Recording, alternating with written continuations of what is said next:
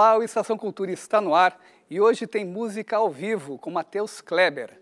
Aqui no estúdio a gente conversa sobre a edição Centro Histórico do Festival Viva, que começa amanhã. Tem ainda uma reportagem sobre a peça Horácio, que faz parte do projeto de descentralização do Porto Alegre em Cena. E a gente começa com cinema. O filme brasileiro Que Horas Ela Volta foi escolhido por uma comissão do Ministério da Cultura para concorrer a uma indicação ao Oscar de melhor filme em língua estrangeira. Dirigido por Ana Mulaert, o longa mostra a história de Val, interpretada por Regina Casé, uma empregada doméstica que mora com seus patrões. Sua condição e seus direitos começam a ser questionados pela filha Jéssica, papel de Camila Mardila, que deixa o Nordeste e vai morar com a mãe em São Paulo para poder prestar vestibular. O filme recebeu prêmios no Festival de Berlim, na Alemanha, e de Sundance, nos Estados Unidos. A seleção final dos concorrentes na categoria vai ser definida pela Academia de Artes e Ciências Cinematográficas de Hollywood e os indicados devem ser divulgados no dia 14 de janeiro de 2016. Tá me levando para casa dos patrões? Eu moro no serviço. E dentro da programação do Porto Alegre em Cena, acontece hoje à noite duas leituras dramatizadas de textos espanhóis na Casa de Cultura Mariquintana. Às seis e meia da tarde tem ainda o lançamento da coleção Dramaturgia Espanhola. E nossa reportagem conversou com atores e diretores que participam do projeto. Fiz como achei que tinha que fazer e não vou me, me intrometer em assunto que não é meu. Então não se intrometa. Mas a minha filha, aqui presente, ela mesma. Um texto é lido em voz alta para o público com toda a ambientação, inflexões vocais, expressões faciais e gestos. São as leituras dramatizadas. Hoje, um pouco da dramaturgia contemporânea espanhola vai ser conhecida. Me parece uma maravilha este projeto. Genial, o sea que la oportunidad que nos dan de, estar aquí autores españoles para bueno para que conozcáis nuestras obras, que nos traduzcan la obra al brasileiro, o sea, es, es maravilloso y luego pues tener también la oportunidad de conocer a, pues, esta compañía, a estos actores que son estupendos todos. Hemos tenido pues poco tiempo de ensayo, pero en el poco tiempo pues ya han creado una, una cosa que bueno ya veréis que como muy bien con el director también y no sé, me parece interesantísimo y muy contenta de que se, de que se divulgue mi obra aqui em Brasil. Morreu, caramba! Olha só, morreu! E eu, bem que continue bem viva, porque eu me Como o texto é muito incrível, muito poderoso, eu, eu fiz quase nada. É, é muito pouco a encenação, é, é, muito pouco. O conceito é deixar o, o texto é, dominar tudo e a sonoridade. Aí a gente trabalhou com o Ricardo Pavão, que é incrível, um músico incrível e que entendeu completamente a proposta e faz um diálogo musical o tempo inteiro com, com, a, com os atores. Ela te imita bem. Claro que eu imito bem. Agora a mamãe imita o papai. Eu vou pra cama. A tradução é, é, um processo que você tem que ser, ao mesmo tempo que você tem que ser fiel, você tem que recriar, né? Porque é para uma outra língua e muitas coisas que funcionam até na melodia, né? Em espanhol, em português é um pouco diferente, né? Mas o, texto é muito, muito rico, né? Tem uma linguagem assim poética, cotidiana. Não posso aceitar. Eu eu me recuso a assimilar. Eu acho que tem essa questão da palavra central né, na, no, no, trabalho, exatamente. Então, é, ele, a leitura dramática, ele traz é, esse trabalho de, de, centrar no texto, né? Então, isso é um, é um exercício bem bacana para ator, né? Mas, fora isso, uh, o projeto, esse projeto que está acontecendo aqui, eu acho ele muito interessante, porque a gente tem pouca é, acesso a textos é, é, estrangeiros, né? E a própria dramaturgia ela tem poucas publicações, né? E principalmente uma dramaturgia é, traduzida, né? Não, não desvia o olhar. É, algo deu errado, Nicolás. Algo deu muito errado. Eu ouço vozes invisíveis. Eu vejo anjos alados com sorrisos de cadáver. E sabe por quê, Nicolás? Que ainda que eu tenho um pescoço de Bambi. A gente tinha um projeto anterior a esse, onde cada semana a gente escolhia um texto latino-americano, vinha um diretor de fora e a gente encenava ele. É muito importante para a gente conhecer novos autores, novos diretores, novas linguagens. É, isso cria um universo amplo para o ator né, trabalhar. Ela se concentra e todo o ar se congela e tudo muda no rosto dela. Eu, enquanto ator, assim, percebo como é importante a gente ter uma compreensão e a gente ter esse exercício né, de leitura de texto, de leitura de dramaturgia, da gente ir aos poucos, né, construindo essa, essa, essa consciência, assim, né, do, das vezes do que a gente diz em cena, por mais que às vezes a gente possa não trabalhar necessariamente com um texto dramático tradicional, mas a gente se conectar e ter a consciência do que o texto, do que a dramaturgia, do que o argumento do que a gente está sendo dito é importante. E uma leitura dramática, ela exercita, né, de uma forma mais direta, esse olhar direto pra, para as palavras, né? entregue. Eu fico embriagado de prazer por compartilhar, Dona Sofia, minha doce, terna e política mãe. E, sobretudo, sobretudo. E começa amanhã no Museu do Trabalho, o Festival Viva, edição Centro Histórico. O projeto promove diversas atividades como shows, espetáculos teatrais e exposições. Uh, nós conversamos agora com o Juliano Rossi, o Juliano Rossi, ele que é da produção do festival. Tudo bem, Juliano? Tô bem, ué. Que legal te receber aqui uh, para falar desse festival que faz um diálogo também né, com o próprio processo de trabalho do coletivo Mosaico, que é um dos, uh, Mosaico Cultural, que é um dos promotores do festival Sim. e também da Casa de Teatro. Né? Como é Sim. que se deu a proposta desse festival? Ela nasceu é, com um novo olhar de promover a arte em novos espaços culturais, né? Dentro do que a gente vem vivendo, onde que os espaços hoje ele não é, ele já não, ele já está meio arcaico, né? E a gente falou, não, vamos trabalhar em cima de espaços, outros espaços e trazer, é, reeducar o público, fazer o público ir ao teatro e poder se divertir no teatro, poder, é, que nem o festival, ele vai, ele nasce também na proposta de ser autoral, onde o público possa ir ver espetáculos autorais, né? Essa edição acontece no Museu do, do Trabalho, em parceria com a Casa de Teatro, porque é um espaço muito legal ali. Aí a gente viu, pô, aqui dá para ter expositores. Não, vamos pôr DJ aqui também. Aí o público fora vai ter DJ, vai ter expositores vestuários, cerveja artesanal, vai ter toda uma parada fora e dentro a pessoa paga o ingresso e assiste um show né? São dois shows por dia em quatro dias, né? São dois finais de semana. São dois finais de semana. E, e aí a seleção disso nasceu muito pela afinidade, principalmente pela afinidade, né? E o nosso coletivo, ele, ele é, a gente tem o nosso espaço próprio, então naturalmente esse, essa afinidade foi se tornando. E aí tem lá o grupo Aquarela, que é Rock and Roll para Criança, que, que vai se apresentar às quatro da tarde. A gente está vendo, por exemplo, a banda ah. Trabalhos Espaciais Manuais. Ah, tem, né? é muito boa. É, e é uma das pioneiras no Afrobeat aqui na região, né? É uma banda nova que poucas pessoas conhecem, mas o trabalho é fantástico, que eles vão fazer a primeira noite, né, no sábado. É, quem vai abrir a, o dia é o grupo Aquarela, que é Rock and Roll pra criança. Que legal. Oh, é muito bom, é muito bom. Eu, quando eu vejo, eu fico assim, rockabilly, um negócio muito legal, proposta muito legal. E no domingo tem, vai ter o Nenung, que é um cara, que é um ícone, né, do, da cena cultural aqui do Sul, no rock and roll e tal. O cara tem música gravada pelo Kid Abelha, com o Marcelo Bonfá também e tal, do Legião. Ou seja, é um cara para nós muito, é uma honra ter ele no, no, no, festival. Tem ainda a bandinha de Dadó, né, que dispensa comentários, ele leva a legião, né, e o Homem Banda também, que vai apresentar tudo dentro do teatro, né. Aí tem a, a Mother Funk, Funk.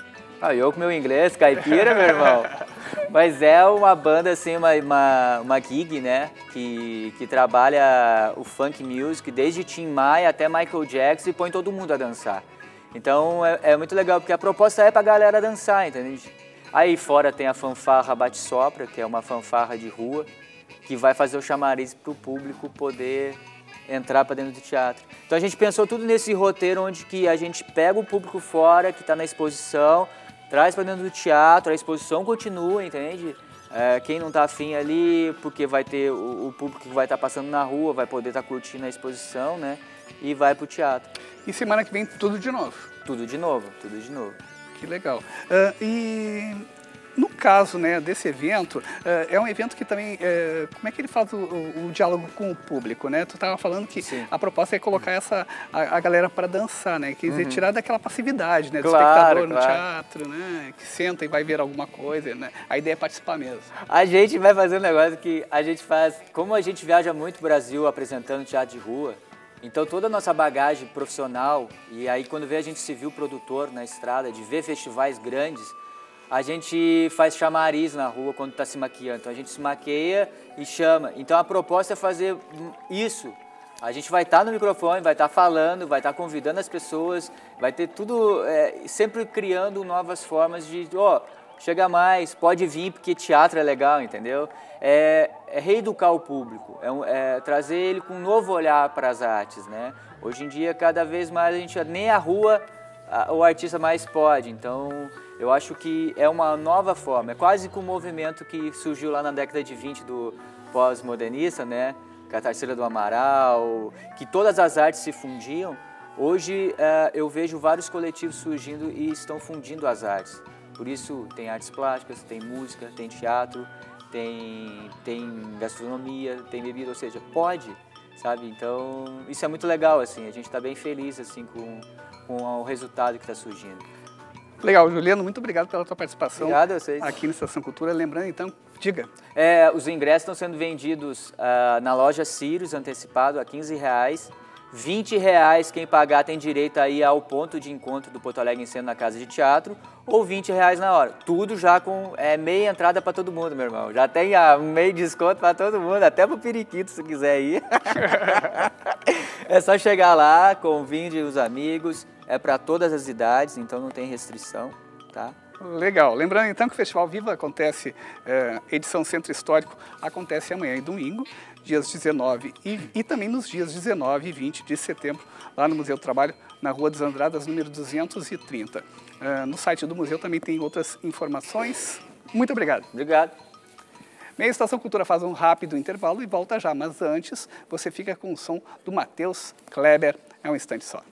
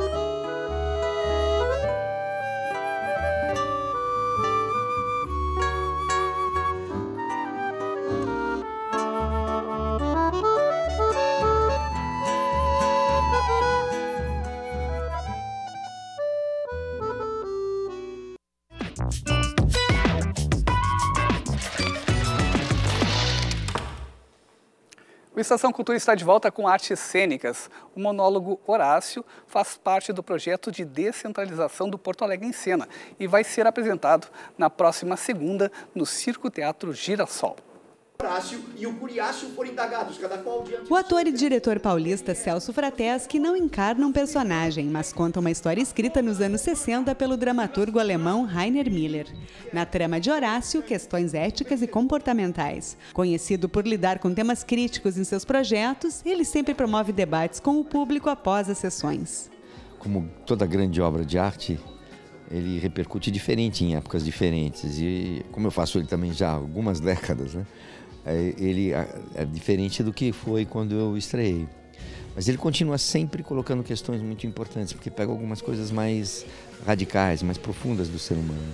Uma delas é essa questão do fundamentalismo, essa questão de, de da dificuldade que a gente tem ainda no tempo contemporâneo de entender que podemos ser uma coisa e outra e não necessariamente uma coisa ou outra. E a máscara aqui nessa peça, ela tem alguma simbologia específica? Assim, tu trouxe por alguma razão uh, esse elemento?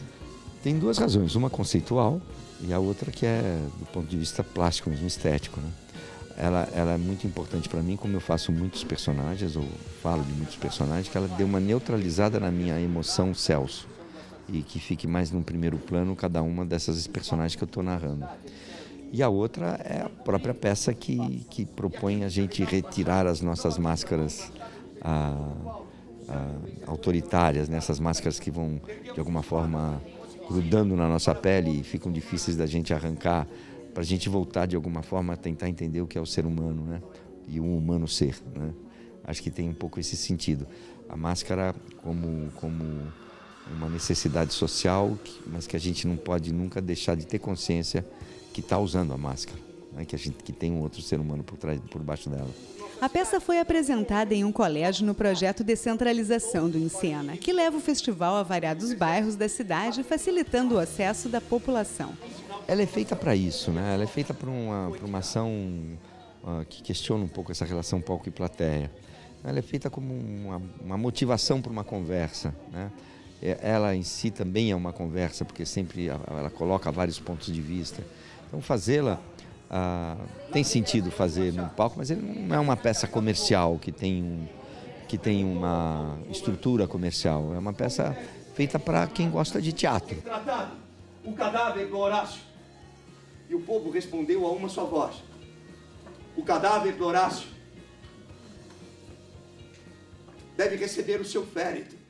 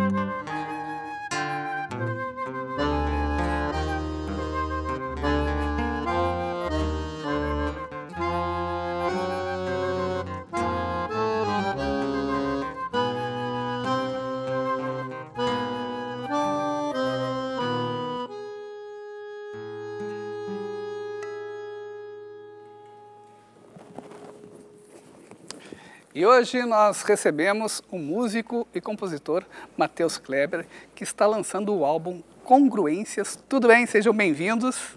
Tudo bem. Matheus, começando apresentando o pessoal que está contigo aqui. Vamos lá, vamos lá. Aqui à minha direita, na flauta, Ana Carolina Bueno. À minha esquerda, Lucas Araújo, no violão. E Fábio Alves, no contrabaixo. Matheus, está aqui o CD, Congruências, né? Uh, são 10 faixas. Dez uh, todas as músicas de tua autoria? É, não, tem três releituras. Uhum. né? eu, eu fiz uma releitura para uma música do Nelson Coelho de Castro, que é uma canção, é uma parceria dele com o Bebeto Alves, que tem a Mônica Tomasi como convidada especial. Tem uma releitura para uma música do Raul Barbosa, que é um acordeonista argentino, que eu admiro muito, a música Fervente Ilusion. E tem um, uma outra música que é do, do Jaime Caetano Brau e Luiz Marenco. E as outras sete são minhas. Matheus, e qual é a paisagem sonora do teu trabalho? Assim? Em geral, a gente vê o acordeão ligado a uma pegada mais uh, regional, né? E você amplia um pouco esse conceito? É, exatamente. Essa pegada regional está presente, é um dos elementos que compõe o meu trabalho, mas é uma das coisas, né? A maioria são gêneros, ritmos gaúchos, né? A gente acabou de tocar uma milonga, tem chamamé, só que eu boto ela com uma outra roupagem. Eu tento fazer uma roupagem pouco diferente, somando outras influências que eu tenho, né, da música erudita, do jazz. Por isso o nome até congruências, é a junção da, de, Quanto tempo aí já de carreira, de estrada? Olha, tocando acordeon mais de 20 anos. Olha, é, bem novinho já, 20 anos. É, Começou é, com quantos anos? Eu comecei a tocar com seis anos, né? Seis para sete. Mas profissionalmente eu, eu conto dez anos. É. Legal. Uh, nesse CD aqui, uh, teve um lançamento uh, semana passada no Santander Cultural, foi um maior sucesso, né? Lotou, pessoal ficando de fora. Coisa boa, né? Coisa boa. No meio do feiradão a gente teve essa felicidade de, de encher a casa, né? De encher o Santander Cultural, foi muito bacana. Bom, no caso desse CD, eh, ele foi gravado em como? Assim, como é que foi o processo? Ele começou através de uma parceria com a Sigmund Records, que é um selo da, dos alunos do curso de produção da Unicinos. Né? Com essa parceria, a gente gravou cinco músicas.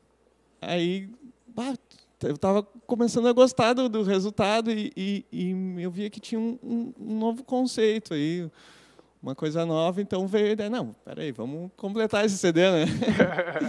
então, começou assim. assim. Legal. Uh, informações sobre o trabalho, quem quiser comprar o disco, como é que pode encontrar?